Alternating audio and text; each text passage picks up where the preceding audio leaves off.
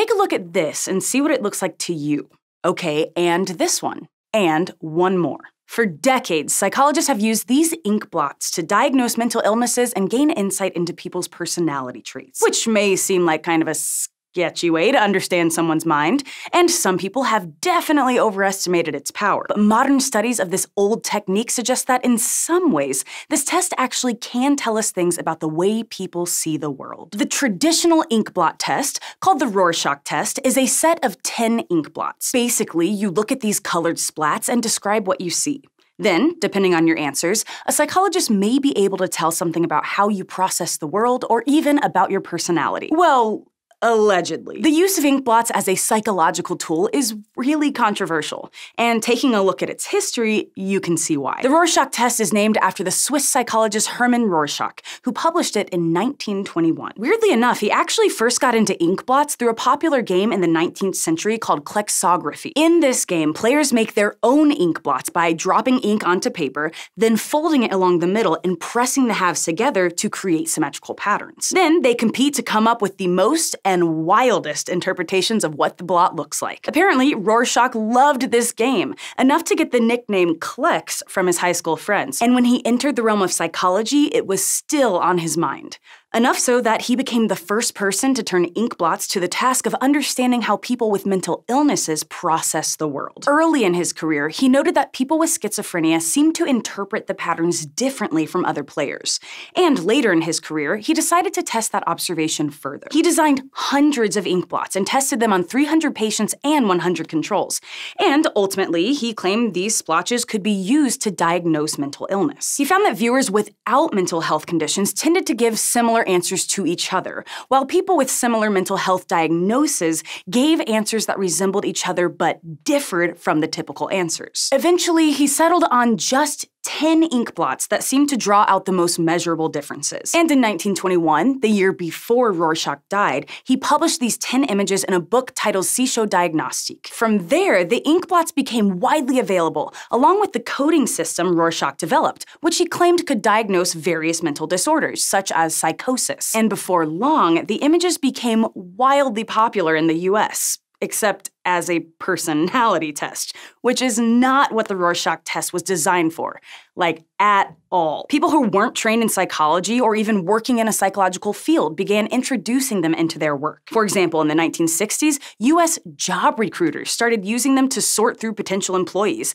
thinking they could pick out the personality traits they wanted. Even psychologists got really liberal with their applications of the test. And that's where the science started to get really mushy. After Rorschach's death, ink blots were so popular that many scientists began adding to his body of work.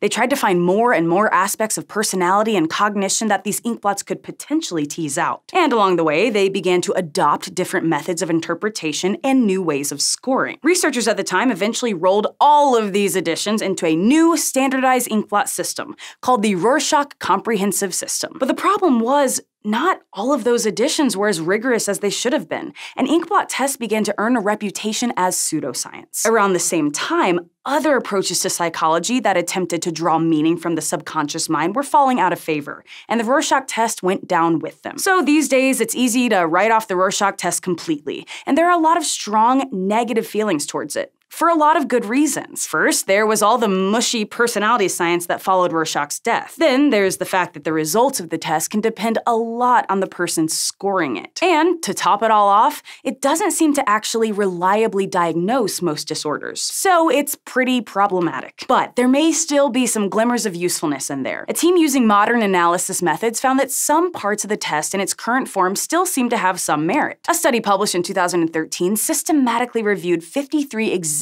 meta-analyses on the Rorschach comprehensive system, and found that, of the 65 main variables it claims to test, 13 had some really solid support. These 13 variables were the ones that assessed how you see and think about the world, or your cognitive and perceptual processes, which Lo and behold, is what Rorschach designed the test for in the first place. The researchers concluded that Rorschach's ink blots were of notable use for identifying those with psychotic disorders such as schizophrenia. People with schizophrenia often experience thought disorder, which messes with their ability to organize their thoughts. Because of that, the way they interpret the blots is noticeably different, more scattered, and in some cases, it can demonstrate their feelings of paranoia. Again, just like Rorschach first noticed. It's unlikely that psychologists would use this test in place of other diagnostic tools we have for mental illnesses these days, but now we know that it does have some value. The Rorschach test may seem like a cliche example of how wacky and pseudoscientific psychology can be, and thanks to its history, it does have a lot of baggage. But with more rigorous research using modern research methods, there's reason to hope that something useful can be pulled from the mush. And if nothing else, it stands as a cautionary tale to future scientists. Be careful how you use psychological tools, or you might end up ruining them for everyone. Thanks for watching SciShow Psych, which is produced by Complexly. If you want to keep imagining the world complexly with us, check out Crash Course Business Entrepreneurship Learning Playlist, hosted by Anna Akana. In this 17 episode series, Anna will explore how to turn an idea into a successful business. Even from the very beginning, our first video can help you figure out if you want to be an entrepreneur, or if you already are. You can find the link for the playlist in the description.